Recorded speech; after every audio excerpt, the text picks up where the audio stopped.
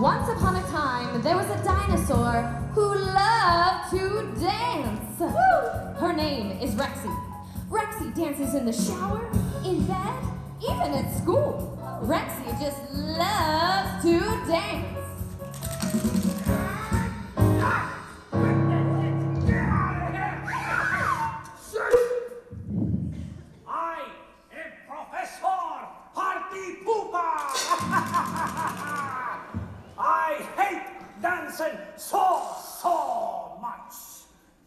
Catch anybody dancing, I trap them. And I put them